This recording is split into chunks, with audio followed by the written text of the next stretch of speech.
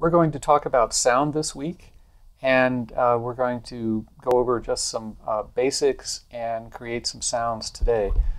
Uh, audio signals are vibrations that travel through the air and other materials, and uh, we can characterize sound as uh, rapid but measurable changes in pressure over time.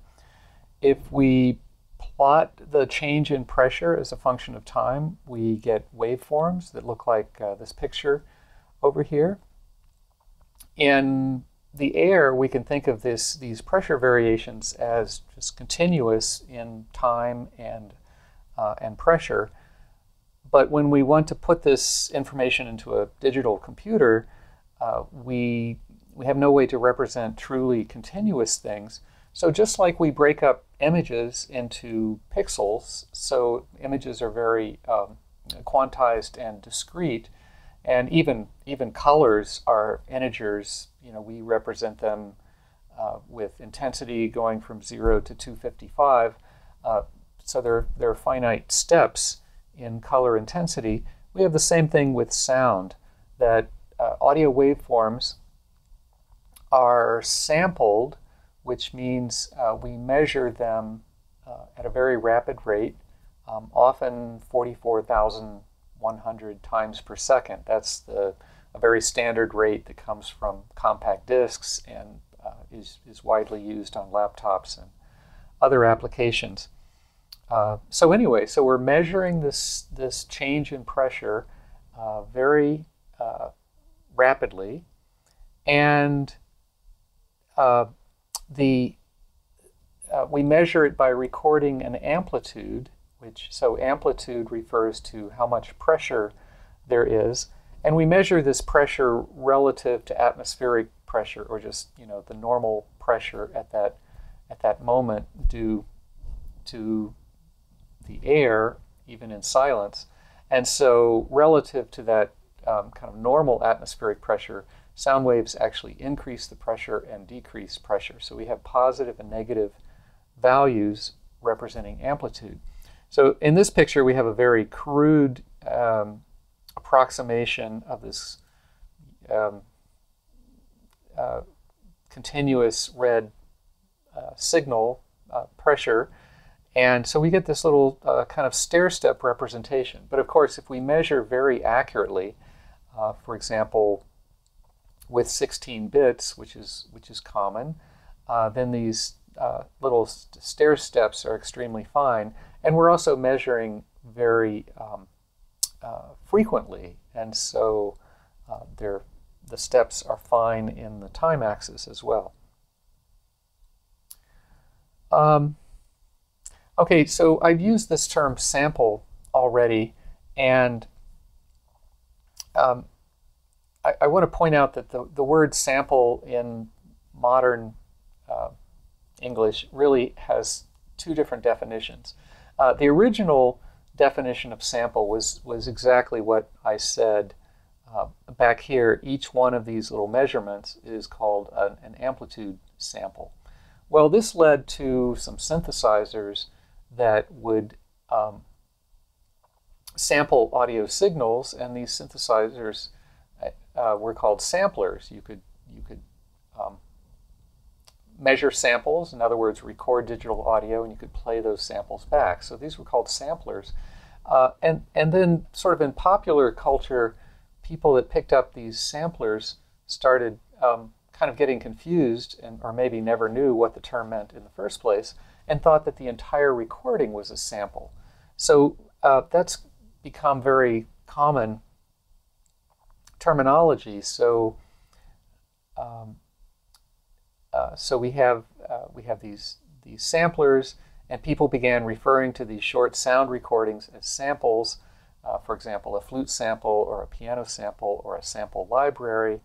And uh, DJ culture began using samplers to repurpose commercial recordings, and so that's these uh, short excerpts of music have been referred to as samples. And uh, Okay, so there is some confusion there. I'm, I'm going to try to just use sample to refer to these single numbers. The next topic is how do we do multi-channel audio? We've seen how we deal with, with a single sound, but what if we have stereo? So there, there's sound, different sounds coming out of different speakers. Well, stereo is just uh, two simultaneous recordings uh, so that we record a left channel and a right channel and we have a sequence of samples representing what comes out of the left speaker and a sequence of samples representing what comes out of the right hand speaker. And these pairs of samples are called frames. So a, st a stereo recording or a multi-channel audio recording is a sequence of frames where each frame has the sample value uh, from each of two or more channels. And so here's, here's what that representation looks like. Um, it's a very simple concept. Uh, the terminology is, is good to know, though. These are um, here we have frame 0, frame 1, frame 2, and so on up to frame n, and each frame has a left channel and a right channel for a stereo. Uh, let's move on to uh, sample rate. This is really a whirlwind tour of digital audio. But sample rate is the speed at which we are measuring samples. For example, 44.1 kilohertz, 44,100 hertz um, is the is a very standard sample rate. Hertz means per second. So how many times per second are we measuring sound? And uh, sample rate determines what frequencies can be recorded. So if you're recording speech, uh, speech sounds pretty good sampled at, um, uh, oh, anywhere like 8 to 16,000 samples per second is common because speech does not really have important high frequencies. And telephone systems sample even more slowly, um, maybe between 3,000 and 4,000 hertz. Um, cell phones are a little uh, trickier, but um, they also um, are not using uh, high sample rates and high frequencies. If you want to uh, record music at high fidelity, then music has uh, frequencies, contains frequencies and information up to about 20,000 hertz, which is about the limit of human hearing. And um, so there's this really nice rule which says if you want to capture frequencies up to some frequency x, you must sample at 2x. So that's why in order to capture the full range of human hearing up to 20,000 hertz or so, we um, frequently use sample rates of 44,000. That's a little more than double. Um, so that gives us a little a little cushion. And on the other hand, the phone company might um, only care about uh, speech signals up to about 4,000 hertz.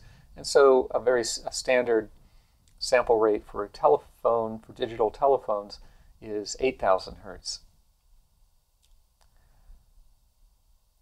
Uh, and again, this is very analogous to images. So we think of, of sampling uh, audio across time, but when we when we do digital photography, we're really sampling uh, a continuous field of intensity across space, across the vertical axis and the horizontal axis. And so the sample rate, the analogy to sample rate in audio is uh, pixels per inch in, in uh, digital photography and digital and, and computer graphics. And higher frequencies in audio uh, correspond to fine detail in images. And of course, the more pixels per inch, the more fine detail you can get. Just like the more samples per second in audio, the more high frequencies you can represent. All right, so that's a very quick introduction uh, to some audio concepts. We're going to now look at how to put audio into P5JS sketches. And I'm going to show you a couple of demos and then I'll um, end and you can implement some of these on your own and try it out. Uh, the first thing that we have to know is uh, that to do all of this stuff, uh, we're going to need a new template. We've been using the what, what we call the min or minimum template, which only supports uh, simple graphics. The audio and some other stuff are included in the all template or template all, and you can find those on the class website. Uh, but just keep in mind that you're, you're going to need that. Uh, the index.html file is actually grabbing a different uh, set of libraries. But once you get that, uh, you can create a sketch. So here, um, let's see. Let's go back to this one. Okay, uh, this is the sketch that I, on the right, I have running in a browser on the left. And uh, let's, first of all, what this sketch does is it um, loads a sound from a sound file and plays it when you click the mouse. So let's add some documentation here. Um, sound file and play when you click the mouse. All right, and we'll go over here and load that. It says click me. I'm to click. So you get the idea. Um, how do we do that? Well, we're, sounds are a little bit like images. We can use the preload function to load sounds, and sounds get loaded from URLs. Uh, I'm, I'm doing this in Firefox so that I can run locally without a server or anything, but um, you'll probably have to set up a server, uh, a local server in order to run, uh, in order to do audio, and all the things we learned about putting sounds up on uh, WordPress apply here that in order to get, if you want to put sounds um, in blogs on WordPress, you'll have to upload the sound to WordPress, find the URL, and then put that into your sketch. Uh, so with that, we load the sound and we get a value which is of type sound. Uh, just like when we were loading images, we got values of type image. So we're going to save the sound in a variable, which I called whoop. Uh, you can control the volume by uh, using the set volume method on, on sounds. And the only other thing really new here is when the mouse is pressed, uh, we call whoop.play, and that will just uh, play the sound file. While the while the sound is playing, everything else is running. So you're getting a draw command. Uh, the draw function is being called, and uh, mouse press is being handled, and so on. All right, so that's um, how you can play sound files. The other uh, thing we're going to do is look at how to uh, synthesize a continuous tone. I'm going to change over here.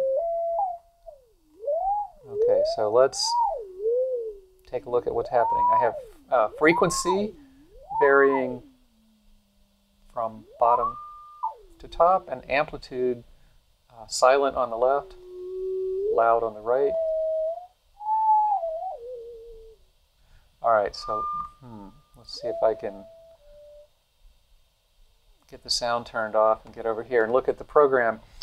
Good. Uh, so uh, what we're doing there is playing uh, what's called an oscillator. It's, it's a tone generator, and uh, we assign the oscillator to a global variable. It's called my tone, and we first in setup we create it just one time. We create one oscillator, and we're going. It's an object, and we'll use it for the entire sketch. Um, we do that by calling new p5.oscillator, uh, saving the resulting object in my tone. And then we just uh, change properties of my tone to control the sound. So we set the type to be sine, uh, which is producing a sine wave. Uh, we set the frequency initially to be 800. Oh, and we also have to tell it to start. That's very important. All right, so now we have the sine that's starting and playing at 800 uh, cycles per second. Uh, and then in the draw function, we are changing the amplitude of my tone and we are changing the frequency of my tone. And the amplitude it varies from you can see here from 0 to 1. We're, we're computing mouse x divided by width, so that x controls amplitude. Um, we're constraining it to be 0 to 1. The frequency, which we control with the y-axis, is um, measured in cycles per second. Um, on a laptop speaker, 200 is a pretty low frequency. Um, thousand or a couple of thousand is, as you heard, is pretty high note. Uh, so we're mapping mouse Y uh, to vary from 200 to 1200 in this sketch. And of course, you could change that uh, if you wanted to. Um, and that's about all there is uh, to this. So I'm going to end this here and let you download some uh, the, the new template and set up a sketch and uh, try to make some sounds.